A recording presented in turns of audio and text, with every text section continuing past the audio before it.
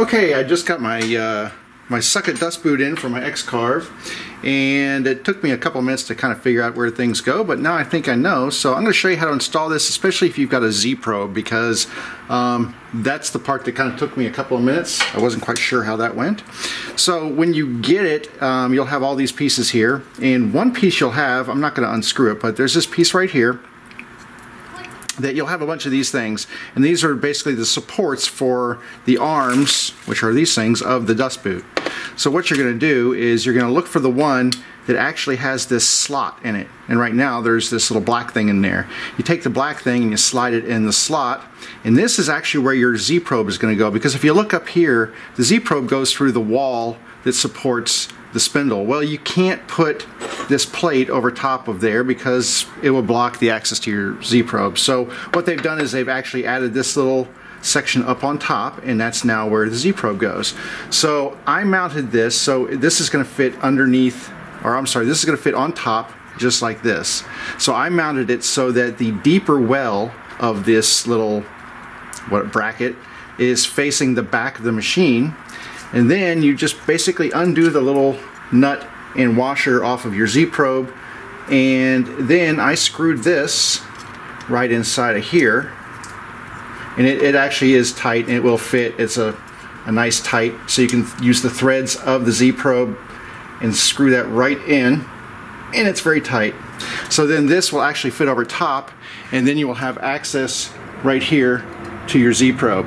So let me just kind of zoom in and show you what I mean. All right, so there you go. So you can see now that this bracket, when it's all said and done, will sit up on top and then your access to the Z-probe will now be right there. So don't worry about it being on the plate here because here's the original hole right here for the Z-probe. You don't need this right here. It's kind of hard to see, but now it's going to sit up top. So let's go ahead and finish up the install on this now that we know where the Z-probe goes.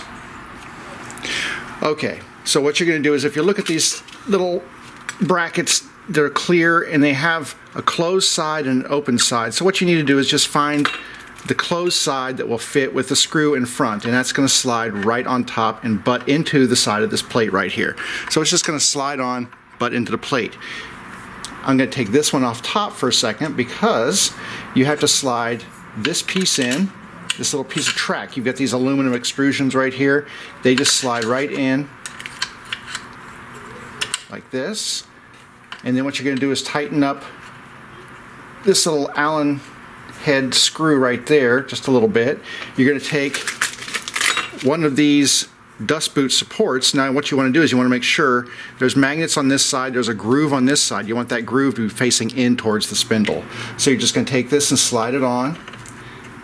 And then you're going to take the one that we fit the, Z, the uh, probe onto and you're going to fit it up top and then tighten that screw. There is an Allen head. They give you all the tools to do this. There's a, there's a, an Allen key that comes with this and you can tighten these down. Just kind of try to keep them square on there. And this one, you just have to push that boot up a little bit. Tighten this one down. And sometimes I want to slide a little bit, so make sure you keep a little pressure on there while you're tightening it down. All right, so there's this side. So now all we have to do is the same thing on the other side. We're going to take this one, slide it in here, and we'll take our bracket, fit it there.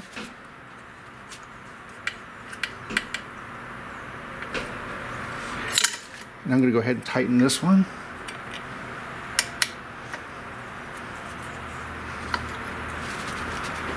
Okay.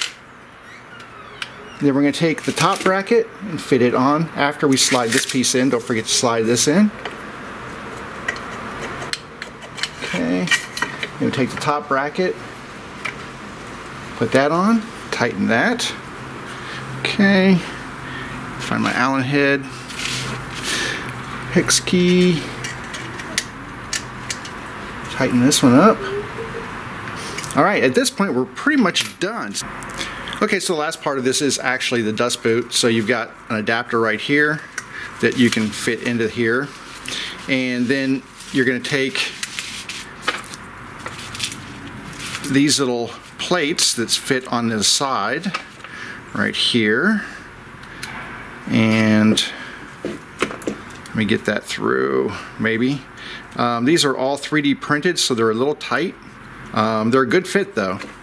So I'm going to slide one of them in here, and then I'm going to go ahead and tighten the screw on this one. I'm not going to tighten it all the way because these are made to actually slide. So there's a little bit of space in there so you can figure out what the best spacing is for yours, I think. Um, get that one, there we go. Get that one in place. Maybe.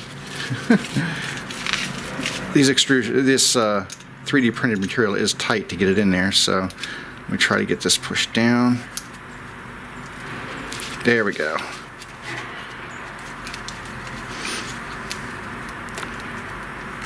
Okay, so that is the magnet that attaches on one side, and I'm just going to go ahead and do the same on the other side.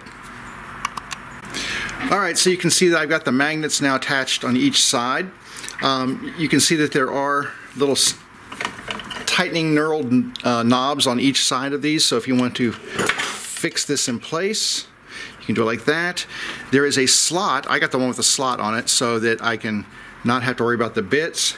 You slide this in, it locks into the magnets and I think if you just do like that and there you go it fits perfectly on here and it is excellent. So there you go. There is the assembly of the SuckIt dust boot for an X-Carve with a Z-probe.